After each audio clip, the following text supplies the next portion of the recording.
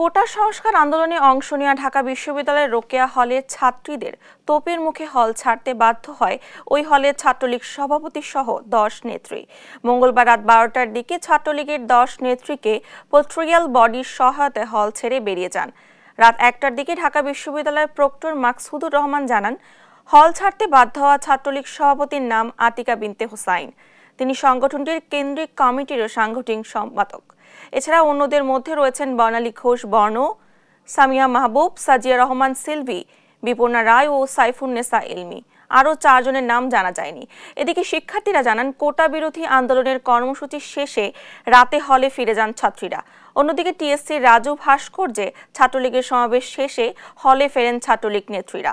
এ সময় উভয় পক্ষ সংঘর্ষে ছড়িয়ে পড়ে।